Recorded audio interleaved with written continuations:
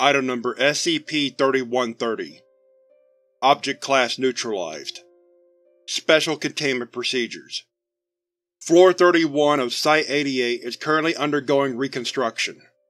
All personnel involved in Incident 3130-F are to be presumed missing until located.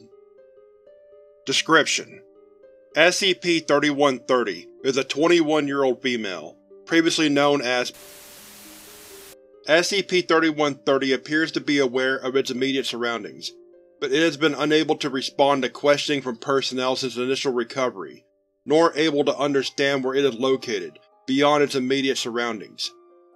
Although SCP-3130 can be interacted with, it is unable to connect any interactions with the personnel, instead attributing it to various other stimuli.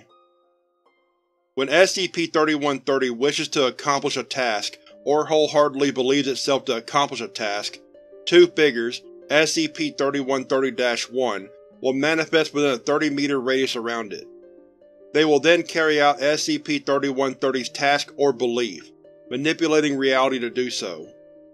After accomplishing this, SCP-3130-1 will stand near SCP-3130 for 24 hours before disappearing.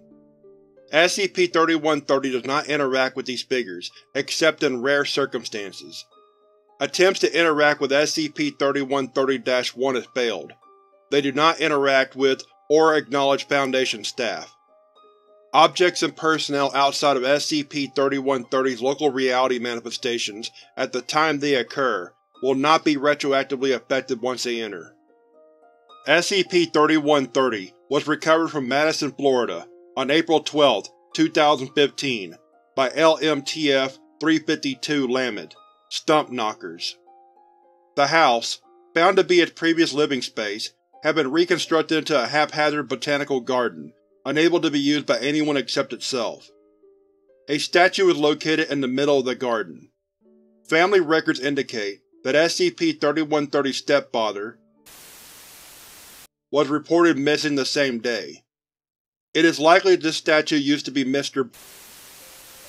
SCP-3130 was moved into Foundation custody with little trouble. Addendum 3130-A Table of Recorded Manifestations Date Statement Manifestation June 21, 2015 Maybe I'll just rest here for a while. I feel tired. I'll lie on this bed. SCP-3130-1 manifested a bed by SCP-3130, hovering 2 inches off the ground.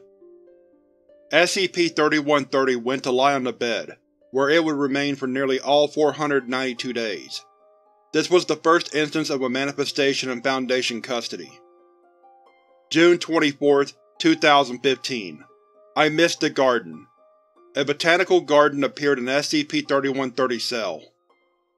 July 1, 2015 I think I miss him. I shouldn't, but I do.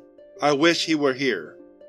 SCP-3130-1 can be seen carrying a statue similar to the one found at SCP-3130's home, placing it by its bed. September 4, 2015 I feel gross. I want to be clean. I'm clean. SCP-3130-1 proceed to wash SCP-3130 manifesting blinds around it for presumed privacy.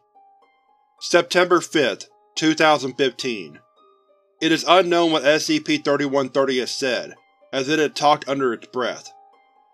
SCP-3130-1 increased the size of its cell by 10%. This resulted in minor damage to Floor 31. See Incident 3130-D for more information. December 25, 2015 Merry Christmas, Mom. Here's a present for you. SCP-3130 proceeds to make motions as if it were presenting a present to a person. SCP-3130-1 manifests, but do not proceed to take any action. January 1, 2016 Happy New Year. Here's to us. SCP-3130 proceeds to make motions as if it were drinking from a bottle. SCP-3130-1 gave it two bottles of water, which it then drank. February 6, 2016 I wish my friends didn't remember me. Follow-up interviews with associates of SCP-3130 before containment revealed that they still remembered SCP-3130, and had mourned its death on April 12, 2015, after a funeral held by its grandmother.